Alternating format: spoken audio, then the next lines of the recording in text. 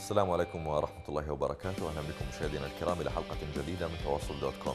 نعرض لحضراتكم أبرز ما تم تداوله على مواقع التواصل الاجتماعي والبداية من العناوين. في عنواننا الأول استمرار عمليات الاغتيال في محافظة البصرة الضحايا متظاهرون وناشطون والذريعة هي حرية التعبير. في العنوان الثاني دعوات لاستمرار التظاهر في البصرة ولرفض القضاء الفاسد والميليشيات وفرق الموت. وأيضا لدينا انخفاض حاد في مناسيب نهر الدجلة وغياب واضح للدور الحكومي في علاج الأزمة. وأيضا ضمن العناوين لدينا في هذه الحلقة مشاهدينا الكرام نتابع مع حضراتكم الفرق بين المؤسسات الحكومية في العراق والمؤسسات الحكومية في دول أخرى والمثال تركيا.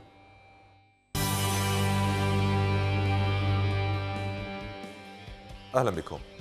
تستمر حالة الاغتيالات في مدينة البصرة. آخرها تم اغتيال شابين من أهالي بغداد صباح هذا اليوم من قبل مسلحين أمام مبنى هيئة الاستثمار في محافظة البصرة طبعا وقرب أحد مقرات أفواج الشرطة التي لم تتدخل حراسة هذه الأفواج ولم يحاولوا إيقاف المسلحين. فلنشاهد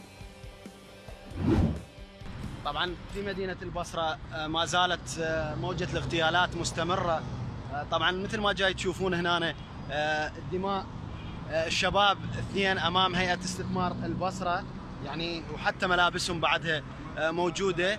الحادث يعني ما أعرف جنائي إرهابي مثل ما جاي تشوفون. تقريبا بحسب المعلومات اللي عندنا الحادث تقريبا ساعة 6 وثلث هاي الدماء ما زالت موجودة. وأكثر من خمس سيارات بحسب شهود عيان يعني نزلوا على شباب اثنين. شباب صغار يعني. أمام هيئة الاستثمار مباشرة يعني مثل ما جاي تشوفون. أيضا هنا أكو قوات أمنية متواجدة حماية دائما. الحادث هذا ضمن السلسلة المستمرة في البصرة للاغتيالات. يعني للأسف شباب بعمر الورد ملابسهم بقت قبل قليل يعني أخذوهم الأدلة الجنائية شفقات وأيضا الدماء وأيضا جاي تشوفون يعني بقايا الحادث صباح اليوم. اليوم الاثنين. للأسف نحتاج إلى تفعيل الجهد الاستخباراتي في متابعة هذه القضايا. اليوم قائد شرطة جديد قائد عمليات جديد. لابد من السيطرة على الوضع وما يجري في البصرة. يعني جاي تشوف هنا شباب منزعجين من تواجد القوات لكن لم يحركوا ساكن تجاه ما حدث لهؤلاء الشباب. أكثر من خمس سيارات بحسب ما ذكره شهود عيان. هذه ضريبة الحرية هذه ضريبة من يدعو إلى الخلاص من الفساد إلى الخلاص من حكومات فاسدة من ميليشيات من قضاء فاسد. هذه ضريبة وثمن من يدعو إلى التظاهر. هذه ضريبة وثمن من يخرج ليتظاهر. طبعا الأسباب كثيرة التي تدعو إلى الاغتيالات. هناك أسباب مرتبطة أصلا بالمظاهرات وهناك أسباب أو عمليات اغتيال لأسباب ليست ربما مرتبطة بمظاهرات. ربما حقد ربما كراهية ربما تحريض من طرف إلى طرف آخر من أجل تنفيذ عمليات الاغتيال هذه. خلاصة القول الضحايا عراقيون الضحايا مدنيون الضحايا أناس مسالمون. ليست لديهم مشاكل في هذا البلد سوى أنهم يطمحون إلى الأفضل يطمحون ببلد مثل باقي البلدان المحيطة. هذه البلدان التي تتنعم بخيراتها والتي يعيش شعبها حالة أحسن من الحال العراقي. حتى وإن كانت هناك ربما انتقادات لمجتمعات أخرى لكن في المجمل يعيش المواطن في تلك الدول نوع من الأمان نوع من الاستقرار حتى وإن كانت ربما هناك أزمات اقتصادية. لكن في العراق الأزمات من كل اتجاه إن كانت ناحية أمنية أو اقتصادية أو سياسية أو طبية أو خدمات أو تعليم أو صحة قضاء وكثير من المشاكل الأخرى التي يعاني منها المواطن العراقي. وإن قال لا فيتعرض للاغتيال. نتابع مع حضراتكم الآن مؤتمر صحفي لمتظاهري البصرة دعما للمطلوبين للقضاء واحتجاجا على مذكرات القبض الباطلة وإشارة إلى أن المظاهرات ستعود بقوة إذا استمرت الحكومة بانتهاكاتها لحقوق البصريين وكذلك إكراما لدماء الشهداء الذين سقطوا بالمظاهرات كما قال المتظاهرون. سوء الخدمات والفساد زاد من أوجاعها السلوك الوحشي الذي قامت به القوات الأمنية تجاه المتظاهرين.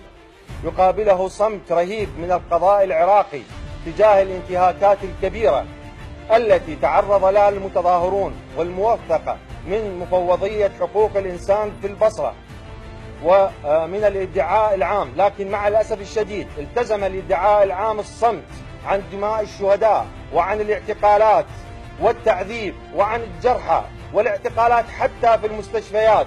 ونحن إذ نعد البصرة مدينة منكوبة بسبب الخدمات ومياه الإسالة خصوصا حيث تجاوز المتسممون 120 ألف مواطن. فإن نكبة البصرة بصمت الادعاء العام وضياع العدالة وانتهاك حقوق المواطنين أكبر. ما نراه اليوم بدء موجة جديدة من الاستهداف لناشطين مدنيين. عملوا على تهدئة الأوضاع ورفضوا حالة الحرق أو التخريب وساهموا في عودة الهدوء والسلمية للتظاهرات في البصرة من خلال نشاطهم الميداني ومن خلال التعاون مع الأجهزة الأمنية. لكن هذا الهدوء لم يرق لمجاميع مسلحة حاولت وتحاول الضغط على الأجهزة الأمنية والتأثير على القضاء العراقي من خلال نفوذها وتهديداتها بهدف إبعاد الناشطين المدنيين السلميين عن تظاهرات البصرة ليمرروا أجندتهم المشبوهة. قد أختلف مع ما ذكر بنقطة واحدة فقط وهي محاولة هذه الميليشيات أو فرق الموت أن تضغط على القضاء وعلى القوات الحكومية. طبعا في العراق الموضوع هو سيطرة هذه المجاميع المسلحة على القضاء وعلى القوات الحكومية. تابعنا كثير من الحالات التي تتحكم بها أو الكثير من المواقف التي تظهر فيها تحكمات قادة ميليشياوية أو قيادات أمنية موجودة في الجيش أو في الشرطة تنتمي إلى أحزاب معينة. هذه الأحزاب خاضعة لميليشيا معينة وبالتالي تتحصل على أوامرها أو على تعليماتها أو توجيهاتها من ميليشيات. القضاء نفس الموضوع القضاء معترف به عالميا في العراق أنه قضاء فاسد. وبالتالي آه، موضوع ضغط الميليشيات على هذا القضاء أو على هذه المؤسسة الحكومية هو هذا الكلام ربما قد يكون غير دقيق لأن الكل إن كان القضاء أو القوات الحكومية مشاركون رئيسيون وفاعلون فيما يحدث للعراقيين الآن سواء في محافظة البصرة أو في محافظات أخرى. المشكلة هي بسبب الطائفية وبسبب التقسيم طبعا هذه الاستراتيجية التي وضعتها الولايات المتحدة من موضوع الفكر الطائفي والتقسيم والتعددية والحزبية التحزب وغيرها. هذه الموضوع المواضيع أو النقاط أدت إلى أنه يتبع القضاء إلى جهة معينة تتبع القوات الحكومية إلى جهة أخرى آه، الجيش إلى جهة والشرطة إلى جهة الميليشيات تتحكم. يعني آه، موضوع مدمر الآن حياة سياسية مدمرة في العراق لكنها قائمة على مبادئ آه، وضعت من قبل محتل تتحكم طبعا في العراق بشكل عام. وبالتالي الكل مشارك فيما يحدث للعراقيين الآن المتظاهرين أو أو حتى في المحافظات الأخرى. نبقى في القضايا المتعلقة الآن بالعراق. تصوير من منطقة أبو نواس في بغداد يظهر انخفاض مناسيب نهر دجلة بشكل كبير ومفاجئ صباح آه، اليوم. أدى طبعا هذا الموضوع إلى ظهور قاع النهر في بعض المناطق قرب المنطقة الخضراء. فنشاهد. طبعا هذا نهر دجلة اليوم صباحا. يعني فشي مخيف بصراحة. انخفاض عالي بمنسوب المياه. بحيث طلعت أشياء عجيبة غريبة ما كنا نشوفها. غير هاي الجزرات اللي بيها قصب شوف بدأت تطلع أشياء غريبة غريبة عجيبة. يعني النهر أوشك على الاختفاء. انخفاض عجيب في مناسيب نهر شوف شوف شوف شوف شوف قام يطلع شوف. يعني هذه ما كنا نشوف كنا نشوف بس ذاك. هاي الجزرات اللي بيها قصب ونباتات. أما هذه هذه نفايات اللي بقاع النهر بدأت تطلع بشكل عجيب. كارثة بصراحة. كارثة كارثة كارثة. بدأ النهر ينخفض. انخفاض. كلش عالي. هذا دجلة هذا معقولة يعني؟ الفايات هذه قاع النهر إيش قامت تظهر حل سريع. في وقد يجف النهر تماما أن استمرت هذه السياسات المتبعة حكوميا. سياسة عدم الاكتراث سياسة الإهمال سياسة التفريط بثروات هذا البلد. محاولة أن تدمر هذه الثروات إن كانت الثروة المائية الثروة السمكية الموجودة في هذه المياه. كذلك الثروة الزراعية التي تعتاش مناطق كثيرة على مياه الأنهار لتغذية طبعا الأراضي الزراعية. الثروة الحيوانية التي طبعا على أثرها أو على أثر هذه المياه يتم سقي هذه الحيوانات وطبعا الازدهار بالثروة الحيوانية. هناك مشاكل كثيرة. أهم المشاكل التي تحدث في العراق هي المياه الواصلة إلى منازل المدنيين. هذه المياه الملوثة بسبب سوء الإدارة وسوء الاستخدام وسوء التعامل الحكومي مع الأزمات الموجودة الآن أزمة المياه القاسية الموجودة الآن في العراق. لا توجد سياسة حكومية واضحة تجاه ما يحدث الآن. تعاقبت الحكومات والموضوع من سيء إلى أسوأ. دليل على أن هناك ربما تعمد أو سياسة ممنهجة من أجل تدمير هذا البلد بثرواته ومقدراته. ننتقل إلى موضوع مهم للغاية أيضا وهو موضوع التعليم في آه، العراق أو التعليم طبعا في في في العراق وكذلك في المؤسسات الحكومية بشكل عام. طبعا سنأتي إلى نقطة التعليم في فقرة آرائكم تحديدا لكن نعرض لحضراتكم الآن وزارة التعليم في مدينة إسطنبول التركية قامت بوضع موسيقى في إحدى المؤسسات الحكومية التابعة لها حتى يرتاح المراجع ولا يشعر بالملل في فترة الانتظار. فلنشاهد. صباح الخير على الجميع. عندي مراجعة بإحدى الدوائر الحكومية في إسطنبول تحديدا التعليم وأنا جاي ضايج لكن شفت هاي المؤسسة الحكومية في فرقة موسيقية حتى المراجعين اللي يجون في الانتظار. تصوروا في فرقة موسيقية حتى المراجع لا يزهق من المعاملة عندما تتأخر. المراجعين واقفين ينتظرون. وأنا أيضا من ضمنهم أنتظر.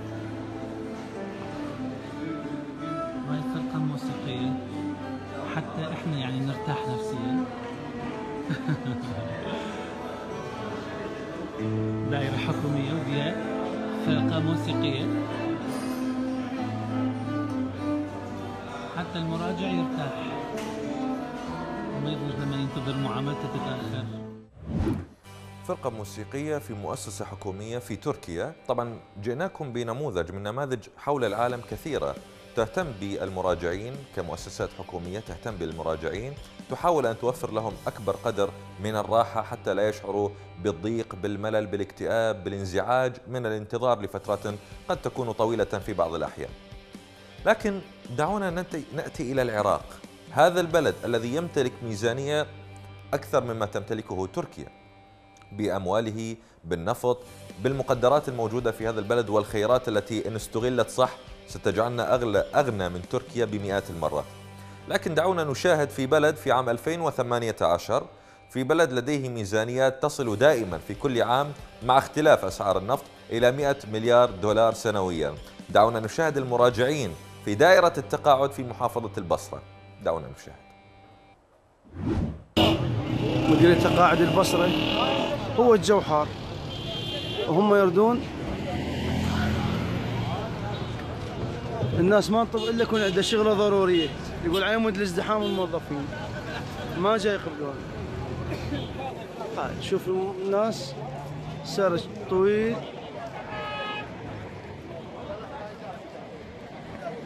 يقولوا هاي متقاعدين ساعة ونص صارت قضي الترى احسي خالد احسي والله. والله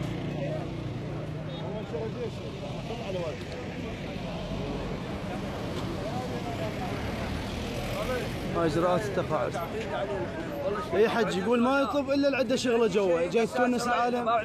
ما عاملة جوا صراحة أقول عندي شيء ما يدخل. صحيح. صدق هو سوى يرجع ناس ما يخليهم يطبون.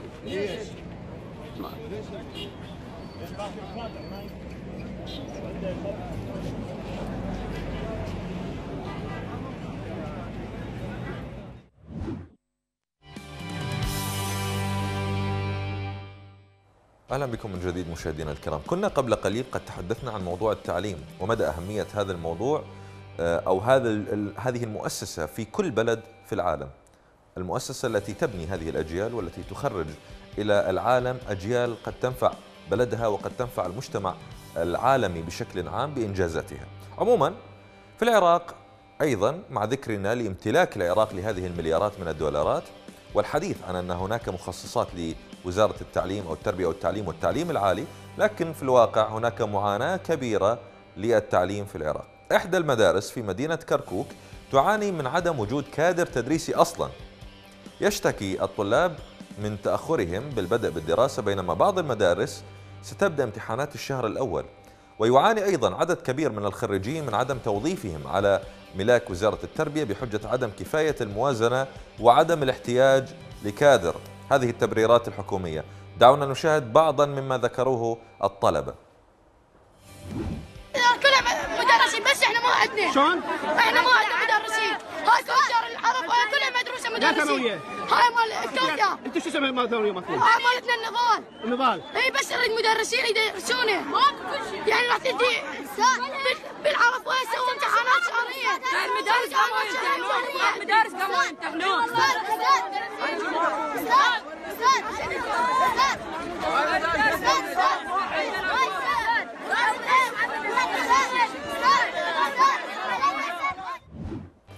عشرات مئات آلاف من الشباب العراقي الأطفال الذين لا يجدون فرصة حقيقية للتعليم تخيلوا مصير هؤلاء عندما يخرجون إلى المجتمع عندما تبلغ أعمارهم 20 وثلاثين عاما وهم بدون تعليم وهم بدون تأسيس صحيح. ما الذي قد يحدث لهم؟ ما الذي قد ينتجوه لهذا المجتمع؟ دعونا نشاهد التعليقات التي جاءت على هذا الموضوع وهذا المقطع.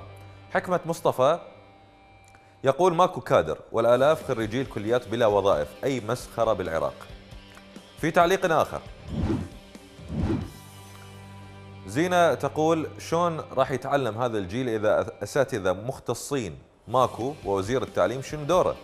شنو هاي الدولة ما حد بعد يقدر يعيش بيها؟ ظلت بس بالاسم بسبب السياسيين اللي همهم فقط مصالحهم. في تعليق آخر علي يقول هو هذا ضمن مشاريع تدمير التعليم. يضاف إلى تدمير وإفساد القضاء وراهن التجارة وراهن التجارة والصناعة والزراعة حتى ما ينهض البلد ويرجع قوي مثل قبل.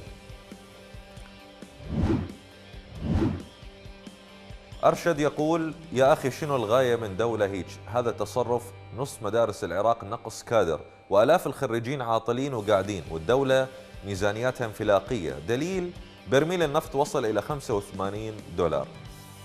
لدينا أيضا ضمن التعليقات على هذا الموضوع حمادة يقول أو يقول نعم. السبب يعود للمحسوبية حيث الكثير من الكادر التدريسي يعمل المستحيل في سبيل أو يعمل المستحيل في سبيل يكون دوامه قرب المنزل. وهكذا تجد النواحي والأقضية تخلو من المدارس والكوادر التدريسية. أيضا وعد الغريب. شلون الطالب ينجح؟ لا مدرس لا اهتمام. وين التربية؟ ما تشوف المدارس وين وصلت؟ لك الله يا عراق. لا الحكومة تعلم. وزارة التربية والتعليم تعلم وزارة التعليم العالي تعلم الوزارات المختصة بتوظيف الطلبة أو الخريجين تعلم بحقيقة ما يحدث بالعراق. الجميع يعلم لا يوجد ما يخفى الآن في العراق. الأمور أصبحت واضحة. أصبحنا نعلم من هو الفاسد ومن هو الصالح. أصبحنا نعلم ما هي المشاريع التدميرية والتخريبية ومن هو الذي يريد أن يعمر. الجميع يعلم لكن هناك تغاضي عن هذه الحقائق. هناك محاولة لتشويه الصورة بشكل أو بآخر لتحريك الأدوات الإعلامية الحكومية من أجل إبعاد الحقيقة عن العالم وعن العراقيين في الداخل حول ما يحدث الآن.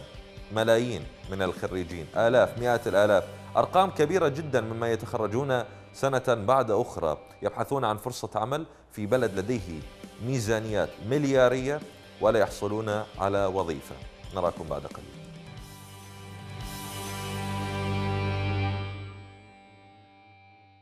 أهلا بكم من جديد. الوسم بعنوان البصرة إلى أين؟ هاشتاج على تويتر. دعونا نتابع التغريدات التي جاءت. أحمد البصري يقول البصرة مستباحة تماما من قبل أحزاب السلطة والذين يدعون حمايتها هم جزء من مشكلتها. آه، أيضا آه، ضمن التغريدات خليل الجبوري يقول قتلوا شابين اليوم أمام بناية استثمار البصرة لتؤكد هذه الأحزاب وميليشياتها أن لا استثمار لها في العراق سوى الدم. ولدينا أيضا. وضاح الشمري يقول البصرة إلى أين؟ بعد تعزيز الوجود العسكري في البصرة هنالك انفلات أمني كبير. من يقف خلف عمليات القتل والخطف في البصرة؟ وما هو موقف الحكومة؟ وفي آخر التغريدات علاء البصري يقول البصرة تعد من أغنى المدن في العالم ولكن سكانها يعيشون حياة بائسة.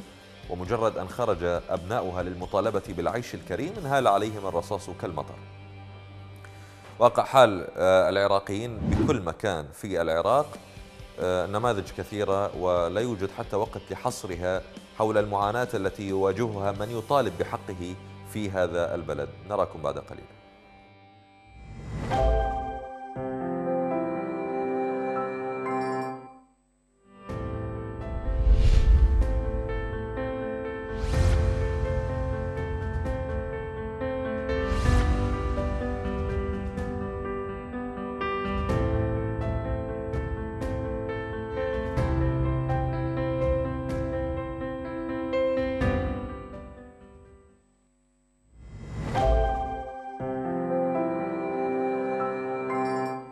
أهلا بكم من جديد مشاهدينا الكرام. دعونا نتعرف على أسباب خراب العراق.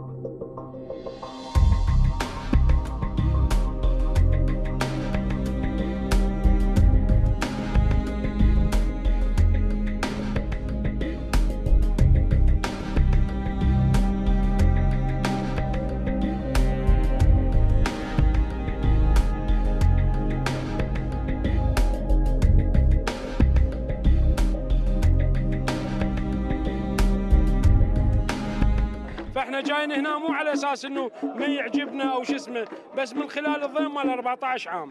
فاحنا نطالب إحنا نطالب ومو, ومو نطالب ونصر على اسقاط النظام السياسي.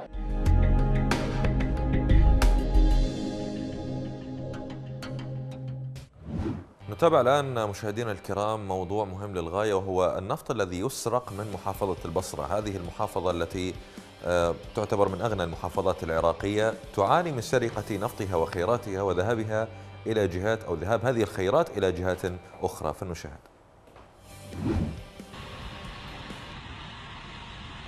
شرطة الطاقة العراقية أعلنت ضبط أكبر وكر لتهريب المواد النفطية في البصرة. قوات الأمن ألقت القبض على 19 متهما وحجزت عددا كبيرا من الشاحنات والصغاريج المعدة للتهريب. المهربون يضعون عدادات صادرة عن وزارة النفط على الصهاريج المهربة ما يجعلها في منأى عن التفتيش باعتبار أنها صادرة من جهات رسمية. تهريب نفط البصرة مستمر منذ سنوات عبر شخصيات وجماعات حزبية وميليشياوية. ورغم إلقاء القبض على المتورطين في إضاعة مقدرات أهالي البصرة ينتهي الأمر عادة بإطلاق سراحهم في كل مرة. على سبيل المثال جماعة من المهربين تم ضبطهم ثلاث مرات لكن نتيجة الضغوط الممارسة من قبل نافذين خرجوا وعاودوا متابعة أنشطتهم. الشرق الأوسط كشفت عن عائلة مشهورة في الزبير تعمل في تهريب النفط لكن لا يستطيع أحد الاقتراب منها. والمبرر أنها تظهر قدرا كبيرا من التدين عبر بناء الجوامع والحسينيات.